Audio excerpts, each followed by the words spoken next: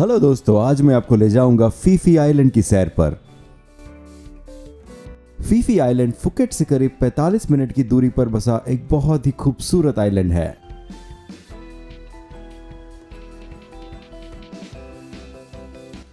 आज हम Phi Phi island के साथ साथ और भी कुछ आइलैंड्स पर जाएँगे।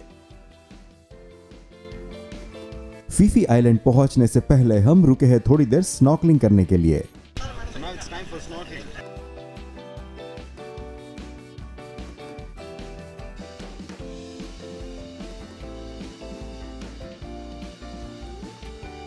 बीच समंदर स्नॉकलिंग का मज़ा ही कुछ और है।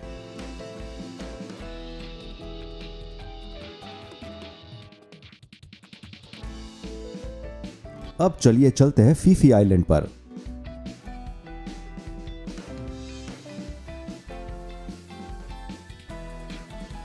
जैसे कि आप देख सकते हैं, यहाँ के ये छोटे छोटे आइलैंड्स बहुत ही खूबसूरत है।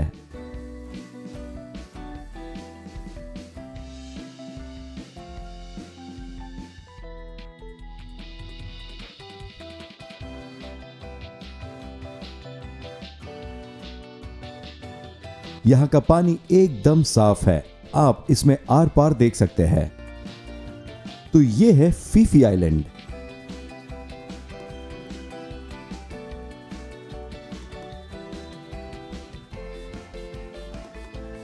अब मैं पहुँच गया हूँ फीफी आइलैंड पे, जो कि फुकेट से करीब 45 मिनट के डिस्टेंस पर बना एक आइलैंड का ग्रुप है। यानी कि फीफी आइलैंड के अंदर कई सारे छोटे बड़े आइलैंड हैं। इस वक्त हम जहाँ पर है, इसका नाम है फीफी डॉन आइलैंड और ये फीफी आइलैंड ग्रुप का सबसे बड़ा आइलैंड है। यहाँ की आबादी करीब 3000 के आसपास है। और यहाँ पे कुछ होटल्स और रिजॉर्ट्स भी बने हैं। तो अगर आप चाहें तो आप यहाँ पर नाइट स्टे भी कर सकते हैं। पर मैं यहाँ पे सिर्फ़ डे ट्रिप के लिए आया हूँ। तो चलिए एक्सप्लोर करते हैं फीफी आइलैंड को। फीफी डॉन आइलैंड एक छोटे से कस्बे की तरह है, जिसे खास टूरिस्ट को ध्यान में रख के डेवलप किया गया है। यहाँ पर कुछ रिजॉर्ट, रेस्टोरेंट्स और एक छोटी सी शॉपिंग मार्केट है। अब मुझे बहुत भूख लगी है और यहाँ पर लंच भी तैयार है तो पहले मैं लंच करूँगा। यहाँ पर लंच में ट्रेडिशनल थाई, वेज और नॉन वेज फ़ूड सर्व किया जाता है।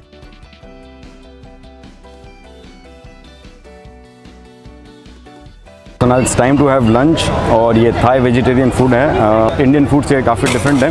इसमें दो टाइप के राइस है पर uh, थोड़ा अलग लग रहा है। नूडल्स भी है और ये वेजिटेबल सूप भी है और फ्रूट्स भी है। So let's try it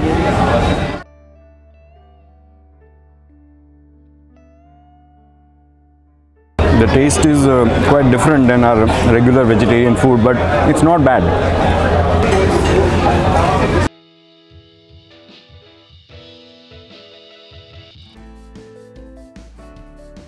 यहाँ पे कुछ रेस्टोरेंट्स है और शॉपिंग के लिए कुछ छोटी छोटी दुकानें भी बनी हैं।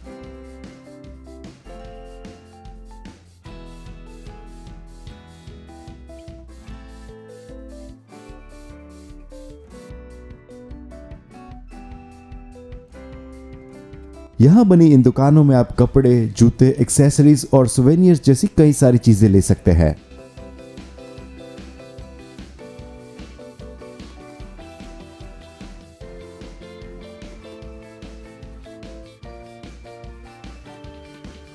यहाँ पर बने ये आइलैंड्स पहाड़ों की तरह ऊँचे हैं और कुछ आइलैंड्स की हाइट तो करीब 300 मीटर तक है।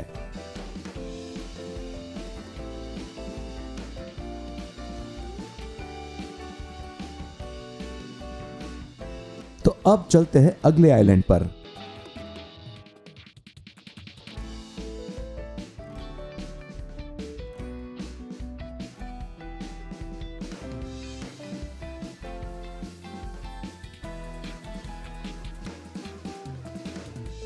यह है खाई आइलैंड जो कि फीफी आइलैंड ग्रुप का एक बहुत ही छोटा सा, पर बहुत ही क्यूट आइलैंड है। अब मैं आ गया हूँ खाई आइलैंड पे, जो कि फीफी आइलैंड के पास बना बहुत ही छोटा सा आइलैंड है। यहाँ पे सिर्फ़ दो या तीन रेस्टोरेंट्स हैं और कुछ वाटर स्पोर्ट्स के ऑप्शन है। पर यहाँ का पानी बहुत ही साफ़ है और स्नॉर्कलिंग के लिए ये आइलैंड बहुत ही सही जगह है। तो इस आइलैंड को एक्सप्लोर करने के बाद मैं भी जाऊँगा स्नॉर्कलिंग करने के लिए।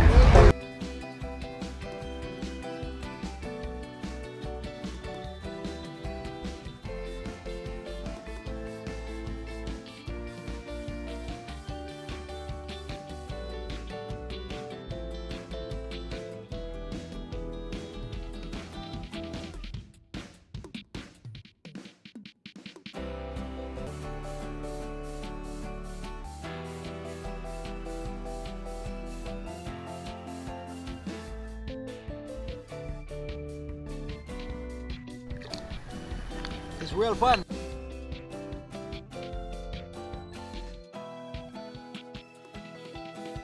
यहाँ के पानी में कुछ रंग बिरंगी मछलियाँ और कोरल्स हैं। फीफी आइलैंड का मेरा सफ़र बहुत ही एक्साइटिंग रहा। यहाँ पर मैं फीफी डॉन और खाई आइलैंड पर गया। यहाँ का ट्रेडिशनल लंच ट्राई किया। इस आइलैंड की गलियों में और शॉपिंग मार्केट में घूमा और स्नॉकलिंग भी की। अब वक्त है यहाँ से वापस लौटकर फुकेट जाने का।